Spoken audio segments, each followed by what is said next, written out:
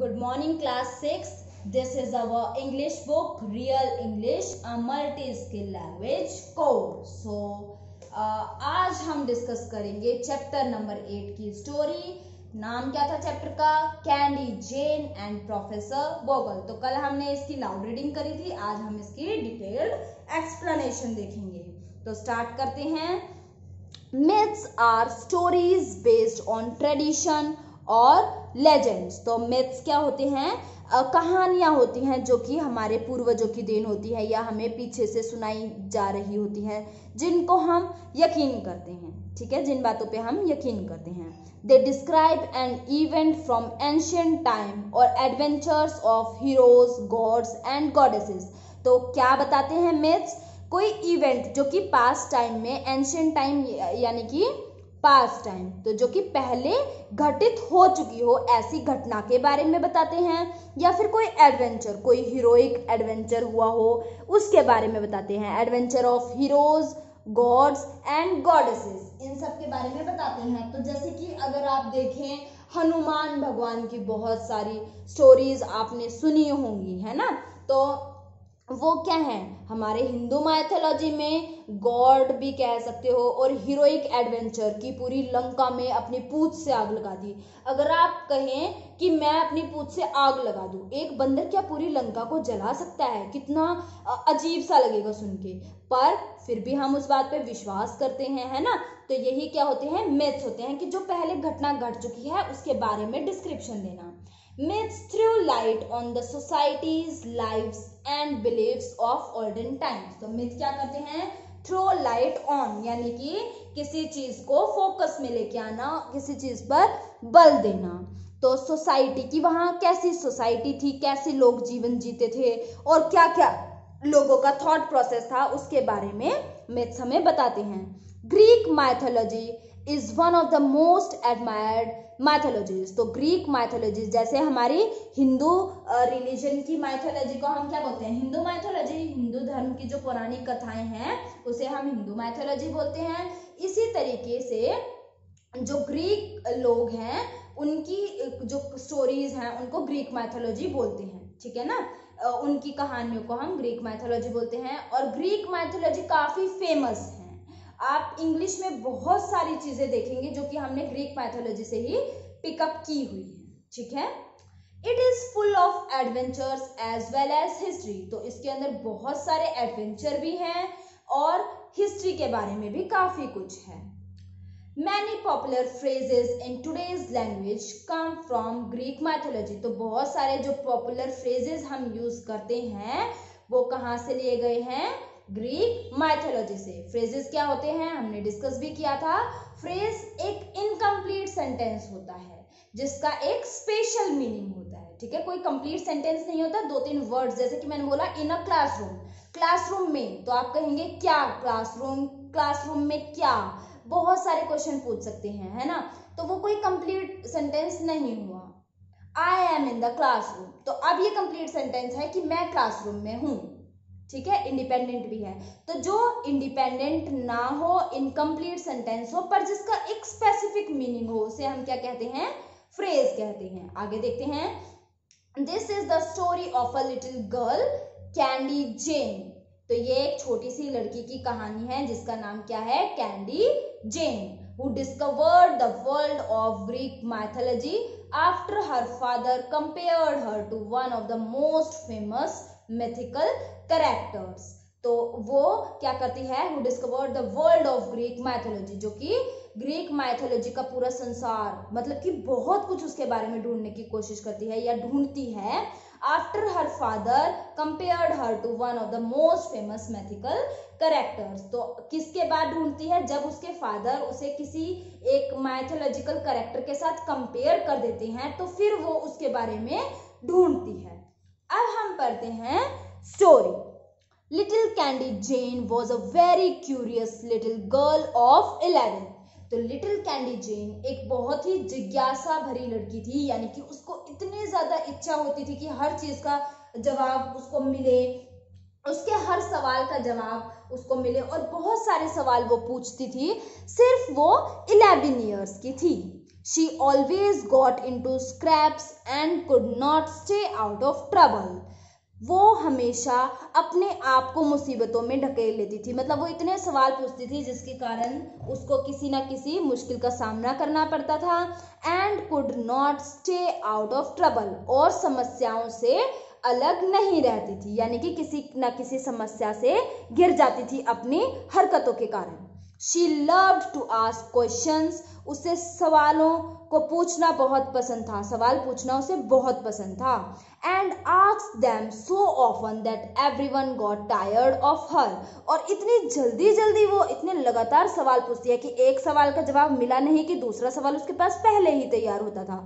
तो वो इतनी जल्दी सवाल पूछती थी कि सब उससे परेशान हो गए थे। गॉड टायर्ड ऑफ़ यानी कि टायर्ड ऑफ़ मतलब थक जाना, सब उससे तंग आ गए थे, परेशान हो गए थे। Candy Jane had an old neighbour who was a gardener Candy Jane का एक पुराना पड़ोसी था, जो कि एक गार्डनर था। गार्डनर क्या होता है? माली था, ठीक है? But everyone called him professor Boggle पर सब उसे क्या बोलते थे? Professor Boggle because he love to read तो प्रोफेसर कौन होता है? जो कॉलेज में पढ़ाते हैं, उनको प्रोफेसर बोलते हैं, यानी कि जो काफ़ी पढ़े लिखे होते हैं एजुकेटेड पीपल तो क्योंकि वो बहुत ज़्यादा पढ़ना उनको पसंद था, इसीलिए सब उनको किस नाम से जानते थे? प्रोफेसर बॉगल के नाम से.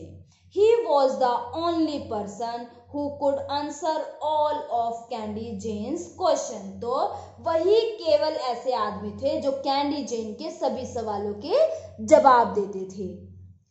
One day Candy Jane's father said to her Candy Jane you are a Pandora's box तो एक दिन कैंडी जेन के फादर कैंडी जेन को कहते हैं कि कैंडी जेन तुम एकदम पेंडोरा का बॉक्स हो।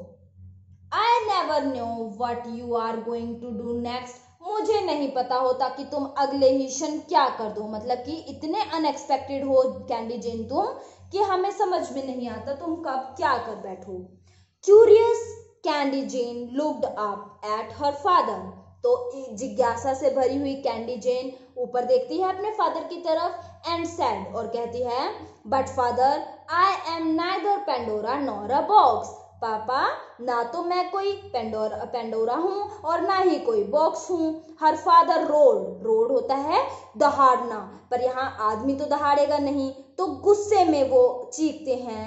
और confused Candy Jane ran out to see professor Boggle who was reading in the garden तो कंफ्यूज यानी कि समझ से, कोई चीज़ हमें जब समझ में ना आती हो, कुछ हमें समझ में ना आए कि ये क्या हुआ तो बौखलाई हुई कैंडी जेन भागती हुई प्रोफेसर बोगल को ढूंढती है, जो कि गार्डन में पढ़ रहे होते हैं।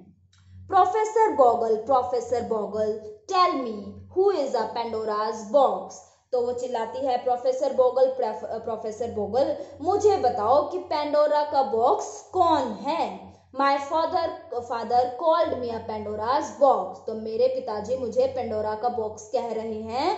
कौन है ये पिंडोरा का box the father sorry the professor looked at Candy Jane and smile professor Candy Jane को देखते हैं और मुस्कुराते हैं। Child it is not who but what तो क्या कहते हैं प्रोफेसर कहते हैं कि बच्चे कौन नहीं? क्या? कौन नहीं पूछो? ये पूछो क्या है? Come and sit while I tell you a story come आओ और मेरे पास बैठो जब तक मैं तुम्हें एक कहानी सुनाता हूँ। आगे चलते हैं। Many centuries ago the Greeks believe in god who were like man but very strong बहुत सदियों पहले। ग्रीक लोग ये विश्वास करते थे भगवान में Greek believe in god Greek ऐसे भगवान में विश्वास करते थे हु वर लाइक मैन जो कि आदमियों की तरह थे बट वेरी स्ट्रॉन्ग बट आदमियों से बहुत ज़्यादा शक्तिशाली थे। They could change themself into anything वो अपने आप को किसी भी चीज़ में बदल सकते थे। मॉटल मैन एनिमल्स प्लांट्स और मॉन्स्टर आदमियों में जो कि नष्ट होते हैं, यानी कि मर जाते हैं, ऐसे आदमियों में, जानवरों में, पेड़ों में, या दैत्य राक्षसों में बदल सकते थे। सैड प्रोफेसर बॉगल ऐसा प्रोफेसर बॉगल बताते हैं, कहते हैं। Their greatest god was Zeus उनके महान भगवान कौन थे? Zeus he was very angry with mortals because they use fire और वो आदमियों से बहुत नाराज़ थे क्योंकि आदमी किस चीज़ का इस्तेमाल करते थे? फायर आग का। Fire was stolen from Zeus by another god called Prometheus तो फायर चोरी हो गई थी, जीव भगवान से दूसरे भगवान ने चुरा ली थी, जिनका नाम क्या था? Prometheus Jews ordered the creation of the first woman from clay. तो ज्यू ऑर्डर करते हैं चिकनी मिट्टी से एक पहली वुमेन को बनाने की बनाने के लिए वो ऑर्डर करते हैं कि बनाई जाए, एक महिला बनाई जाए मिट्टी से। हर नेम वॉज़ पेंडोरा उसका नाम क्या था? Pandora and she was sent to the earth और उसे धरती पर भेजा गया। Candy Jane eagerly looked at the professor और इच्छा, बहुत ही एक्साइटमेंट से इच्छुक होके कैंडी जेन किसकी तरफ़ देखती है? प्रोफेसर की तरफ़ देखती है। Pandora was given a box Pandora को एक बॉक्स दिया गया। She was told never to open it और उसे ये कहा गया कि वो कभी भी उस बॉक्स को ना खोले। Now Pandora was given many good qualities along with curiosity तो पेंडोरा को बहुत सारी अच्छी आदतें दी गई, अच्छाइयाँ उसके अंदर दी गई, साथ में एक जिज्ञासा के साथ विद क्यूरियोसिटी जिज्ञासा भी उसको साथ में दी। In fact she was as curious as you are वास्तव में तो वो इतनी क्यूरियस थी जितनी कि तुम हो। She was so inquisitive about the box that she open वो इतनी ज़्यादा इंटरेस्टेड थी ये जानने में कि बॉक्स के अंदर क्या है कि उसने बॉक्स खोल दिया। Out of the box came all the evil in the world तो बॉक्स में से सभी इविल क्या होता है? बुरी आत्माएँ, बुरी शक्तियाँ दैत्य सब बाहर आ गए संसार में। It is said that at the bottom of the box only hope remain ऐसा कहा जाता है कि बॉक्स के नीचे सिर्फ़ क्या बची थी? उम्मीद hope so Pandora's box means to invite trouble तो पेंडोरा के बॉक्स का पेंडोरा का बॉक्स क्या क्या मतलब हुआ? टू इनवाइट ट्रबल तो ये बात आपको भी याद होनी चाहिए, कोई भी आपको बोल दे Pandora's box you are a Pandora's box तो आपको समझ में आ जाना चाहिए कि वो आपकी तारीफ़ करके कुछ अच्छा नहीं बोल रहा, वो क्या बोल रहा है कि तुम तो मुसीबतों का पिटारा हो या आफत का पिटारा हो। मतलब समस्या तुम्हारे साथ साथ रहती है। तो आप समझ में आया क्या होता है पेंडोराज बॉक्स का मतलब? आगे देखते हैं। Candy Jane finish professor Bogle तो प्रोफेसर बोगल उसको क्या कहते हैं? पेंडोरा का बॉक्स क्या होता है? इनवाइट ट्रबल, मुसीबतों को बुलाना कैंडी जेन, समझ में आया? So why did my father called me a Pandora's box आक्स Candy Jane तो कैंडी जेन क्या पूछती है? फिर मेरे फादर ने मुझे पेंडोराज बॉक्स क्यों कहा? Well see here little girl you are always asking question देखो बेटा, क्योंकि तुम हमेशा क्वेश्चंस पूछते रहते हो। You are also very curious about things और तुम्हें हर चीज़ को जानने की बहुत इच्छा है। And this gets you into all kind of trouble और इसी के कारण तुम बहुत तरीके की मुसीबतों में फंस जाती हो। Candy Jane you can get into trouble even when you are eating तो तुम कैंडी जेन तुम तो समस्या में तब भी फंस जाती हो जब तुम खाना खा रही होती हो। So your parents and everyone else never knew what is going to happen next और इसीलिए ना तो तुम्हारे पेरेंट्स को और किसी को भी ये नहीं पता होता कि तुम आगे क्या करने वाली हो। That is why your father called you a Pandora's box said professor Bogle और प्रोफेसर बोगल क्या कहते हैं कि इसीलिए तुम्हारे फादर ने तुम्हें क्या कहा पेंडोराज बॉक्स कहा। नाउ आई अंडरस्टैंड हाँ अब मेरी समझ में आया। Are these more are there more stories like these तो क्या इस तरीके की और भी कहानियाँ हैं? Tell me some more please professor Bag Candy Jane तो कैंडी जेन बहुत ही मिन्नतें करती है प्रोफेसर की कि मुझे और इस तरीके की कहानियाँ सुनाओ please I will tell you one more मैं तुम्हें एक और सुनाता हूँ and others you will have to find on your own said the professor तो प्रोफेसर कहते हैं, ठीक है, मैं एक कहानी तुम्हें सुनाता हूँ, और बाकी की तुम्हें खुद से ढूंढनी होंगी। Professor long ago Midas sorry professor यहाँ पे कंप्लीट हो गया था। Long ago Midas was the king of Pessinus तो बहुत सालों पहले मिडास कहाँ का किंग था? पेसिनस का। He asked one companion of Dionysus, a god, to grant him the gift of turning whatever he touched into gold. तो ही आक्स उसने क्या मांगा? उसने भगवान डायोनियस क्या बनेगा ये? डायोनिसस भगवान से एक इच्छा मांगी एक उपहार मांगा कि जिस भी चीज़ को वो हाथ लगाए, कौन? मिडास जो किंग था, कि वो जिस चीज़ को भी हाथ लगाए, वो सोने की बन जाए। Midas was granted his wish तो मिडास की इच्छा को पूरा कर दिया गया। So everything that king Midas touched food water and flowers turn into gold तो जिस भी किसी सामान को राजा मिडास टच करते, वो सामान खाना, पानी फ्लावर सब कुछ वो किसमें बदल जाता? सोने में बदल जाता। He could not even eat food वो खाना भी नहीं खाते। Then one day his daughter touched him and he was gloomy तो एक दिन, उनकी बेटी ने उन्हें छुआ और वो उदास हो गई। एंड ही वॉज़ ग्लूमी तो वो क्या हो गए? उदास हो गए। ग्लूमी क्या होता है? सैड दुखी हो गए। गेस्ट वट हैपन तो क्यों दुखी हुए होंगे? क्या कारण होगा इसका? देखते हैं। शी टर्न इंटू गोल्ड तो वो लड़की सोने की बन गई।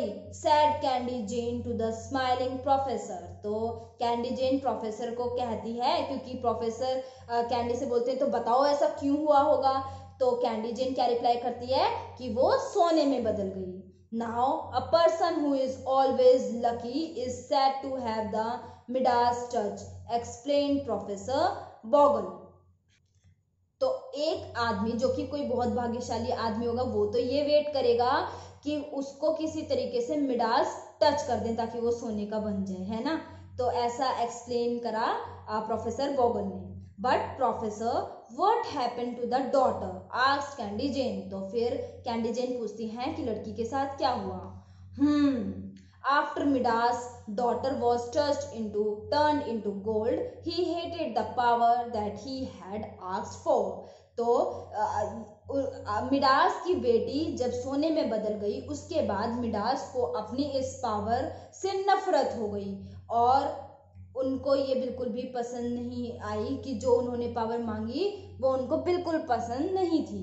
उससे वो नफरत करने लगे। He prayed to Dionysus who told Midas to wash himself in river Pactolus तो उन्होंने प्रार्थना की भगवान डायनिसस से, जो कि मिडास ने उनको उन्होंने जो भगवान थे डायनिसस ने मिडास को बताया कि वो अपने हाथों को पैक्टोलस रिवर के पानी से धो ले।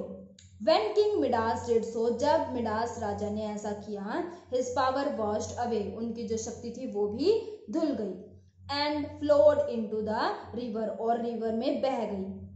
And everything that Midas had turn had turn into gold took its old form तो जिस भी चीज़ को मिडास ने टच किया था, वो जो सोने की बन गई थी, वो दोबारा अपने पुरानी फॉर्म में बदल गई. फिनिश द प्रोसेस प्रोफेसर तो प्रोफेसर ने ये बात कंप्लीट की.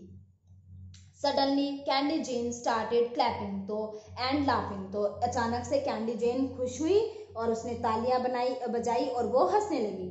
What is so funny little one quizzed professor Bogle तो प्रोफेसर बोगल उससे पूछते हैं कि इसमें इतना हँसी वाला क्या है इतना मजाकिया क्या है छोटी सी गुड़िया Oh, professor, so the story of King Midas also tells us it is bad to want more things that we really need. तो वो कहती है कि प्रोफेसर ये स्टोरी राजा मिडास की जो स्टोरी है ये हमें ये भी सीख देती है कि it is bad to want more things than we than we really need तो जिन चीज़ों की हमें वास्तव में बहुत ज़्यादा ज़रूरत है मतलब जिनको हमें सच, हम जिन्हें सच में पाना चाहते हैं उनको बहुत ज़्यादा भी हमें नहीं मिलना चाहिए ठीक है ना? ज़्यादा से ज़्यादा भी हमें इच्छा नहीं रखनी चाहिए। हमारी जो इच्छाएँ हैं वो भी लिमिटेड होनी चाहिए। These old stories are so useful for our everyday situation तो ये जो पुरानी कहानियाँ हैं, ये हमारे रोज की लाइफ के लिए बहुत ही इम्पोर्टेंट है। यानी कि ऐसी कोई ना कोई घटना तो हमारी ज़िंदगी में होती ही रहती है। तो ये कहानियाँ बहुत ही महत्वपूर्ण है। एक्सक्लेम्ड कैंडी जेन तो कैंडी जेन ने ऐसा कहा। स्माइलिंग प्रोफेसर बोगल रिप्लाइड तो हँसते हुए प्रोफेसर बोगल ने क्या जवाब दिया? यस दे आर हाँ बेशक ये ज़रूरी है। Myths are stories about the past तो मिथ क्या है? पास्ट की ही स्टोरीज हैं पास्ट के बारे में कहानियाँ हैं। Sometimes they tell stories of the heroes of a culture and sometimes they are about imaginary people or creatures तो कभी कभी ये कहानियाँ पुराने हीरोज की हैं, जो महान आदमी हुए हमारे कल्चर से रिलेटेड उनकी कहानियाँ होती हैं। और कभी कभार ये कोई इमेजिनरी यानी कि वास्तव में ऐसा घटा नहीं होता, पर हम कोई इमेजिनरी पीपल क्रिएट कर देते हैं, उनकी कहानियाँ हो सकती हैं। और क्रिएचर या किसी भी जीव की हो सकती हैं। Through these stories we learn about the rules of the society इन कहानियों के माध्यम से हम क्या सीखते हैं? सोसाइटी के रूल्स कि कैसे सोसाइटी में रहना है, ये हम सीखते हैं। And also the way they live और किस तरीके से वो पहले के महान लोग जिए थे, ये भी सीखते हैं।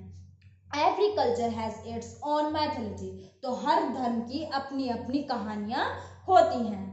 That is so wonderful I want to know more said the excited Candy Jane तो कैंडी जेन बहुत खुशी के साथ कहती हैं कि ये बहुत शानदार है और मैं ऐसी ही और कहानियाँ जानना चाहती हूँ। Candy Jane you go to the library and find out what Achilles heel Herculean effort and hot as Hades mean तो कैंडी जेन तुम लाइब्रेरी में जाओ और पता करो कि आर्चिल्स हील क्या है? हिरेकुलिन एफर्ट क्या है? हॉट एज हेड्स क्या है? तो जैसे कि हमने अभी पेंडोरास बॉक्स देखा था। पेंडोरास बॉक्स क्या होता है? टू इनवाइट ट्रबल तो इसी तरीके से ये भी कुछ वर्ड्स हैं जिनके कोई फिक्स मीनिंग है। तो ये भी फ्रेजेस हैं।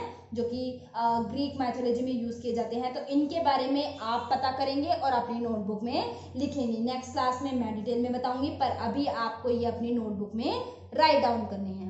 Candy Jane find Greek mythology so interesting that she want to the library went to the library to find the answer और कैंडी जेन इतनी ज़्यादा इच्छुक थी ये पता लगाने की ग्रीक मैथोलॉजी के बारे में कि वो लाइब्रेरी जाती है और इन क्वेश्चन ये जो क्वेश्चन प्रोफेसर ने कैंडी जेन के लिए छोड़ दिए थे, इनके जवाब ढूंढती है। So this is all about our story कितनी इंटरेस्टिंग स्टोरी थी और कितनी थॉटफुल इसके अंदर कितने सारे हमें मैसेज मिले कि हमें बहुत ज़्यादा नीड्स हमारी डिमांड्स बहुत ज़्यादा नहीं होनी चाहिए। जितना हमें मिले, उतना ही उतने में संतुष्ट रहना चाहिए। और कितनी, जो इंटरेस्टिंग गर्ल थी कैंडी जेन कितनी क्यूरियस थी, उसे हर चीज़ का नॉलेज चाहिए था। तो इसी तरीके से बाकी सभी बच्चों को भी होना चाहिए कि उन्हें ये उनके मन में ये इच्छा होनी चाहिए कि हम सीख लें। ऐसा ना हो कि भाई, हाय, मुझे तो पढ़ना पड़ेगा। ऐसा उन्हें नहीं सोचना चाहिए, ठीक है? तो ये हमारी स्टोरी थी। नेक्स्ट क्लास में हम इसका कॉम्प्रिहेंशन सेक्शन डिस्कस करेंगे। तो आपको क्या करना है? स्टोरी को दोबारा से रीड करेंगे। जो यहाँ कुछ वर्ड्स हैं, जिनके नीचे मैंने अंडरलाइन की है, इनको आप ढूंढेंगे, इनके मीनिंग ढूंढेंगे नेट से सर्च करेंगे और कॉम्प्रिहेंशन सेक्शन खुद से फिल आउट करने की कोशिश करेंगे। नेक्स्ट क्लास में हम इसे डिस्कस करेंगे. So that's all for today thank you and have a nice day